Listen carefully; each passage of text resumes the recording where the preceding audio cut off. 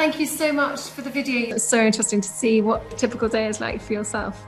I think it gives like a good insight as to what we do in a day. This is the job that I was meant to do. In your video, you talked about not ideal um, I think, uh, nursing in a pandemic. Especially seeing it through a pandemic, like you don't have the families there to support your patients and you have to give them so much more. My granny, my mum and my sister are all nurses, so I was kind of couldn't really escape it. Compassion and empathy obviously runs strong in your family.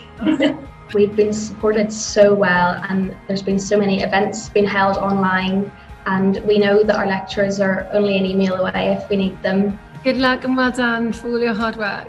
Thank you. Well, hey there, GMA fans. Robin Roberts here. Thanks for checking out our YouTube channel. Lots of great stuff here. So go on, click the subscribe button right over, right over here to get more of awesome videos and content from GMA every day, anytime. We thank you for watching, and we'll see you in the morning on GMA.